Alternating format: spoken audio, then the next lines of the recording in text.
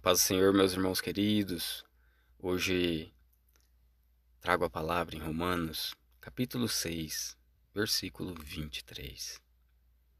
Porque o salário do pecado é a morte, mas o dom gratuito de Deus é a vida eterna, por Cristo Jesus, nosso Senhor.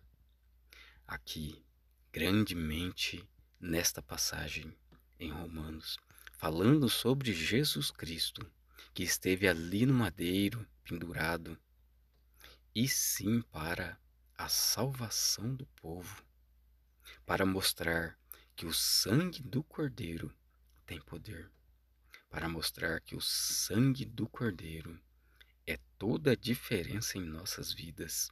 Então, honra a palavra de Deus, porque a palavra de Deus ela está prescrita além da Bíblia, em nossos corações, é só você perceber intimamente em seu coração. Hoje, esta passagem grandiosa, e sim, com a graça de Jesus Cristo, hoje na oração da manhã, né, é bom trazer para dentro do seu coração esta passagem, né, a passagem de Jesus Cristo aqui na terra. Também tem a inspiração né, da palavra da Bíblia, daqui na Bíblia online, né? Inspiração. Se tivéssemos sido deixados como os nossos próprios recursos e, as, e a nossa vida pecaminosa, merecíamos, e nós veríamos frente à danação.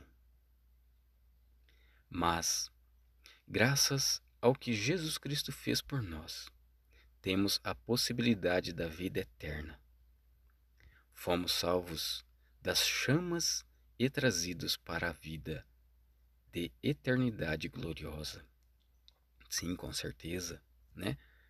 Jesus veio para nos tirar né, de todo aquele revoluço, de toda pecaminosidade da nossa carne, porque o ser humano, se ele caminhar pela carne, ele se perde. Mas sim a glória de Deus, né? O Espírito de Deus e Jesus Cristo sempre esteve presente para que nós possamos sermos guiados novamente. Hoje, então, a oração da palavra do Senhor. Meu Deus, agradeço a Ti pela oportunidade da salvação. Obrigado por me salvar de um futuro doloroso e substituí-lo pela vida contigo. Para sempre em nome do Senhor Jesus, oro. Amém. Amém, Senhor Jesus, e que esta palavra chegue em vossos corações, adentre os vossos corações e possa permanecer.